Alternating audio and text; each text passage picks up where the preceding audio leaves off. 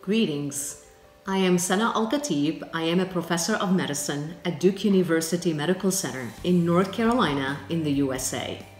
I am a cardiac electrophysiologist, so I take care of patients with heart rhythm disorders. It is my distinct pleasure to be participating in CardioAlex 2019. This will be my first time participating in this meeting.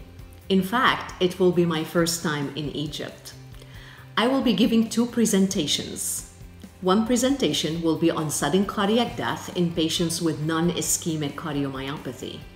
Having had the privilege and honor of chairing the American Guideline for the Prevention of Sudden Cardiac Death, I look forward to sharing some insights on this topic with the audience. I will also be giving an update on oral anticoagulants for stroke prevention in patients with atrial fibrillation. I'm very excited about my participation in this meeting, and I look forward to meeting as many people as possible and to exchanging ideas and scientific content with my colleagues at CardioAlex 2019.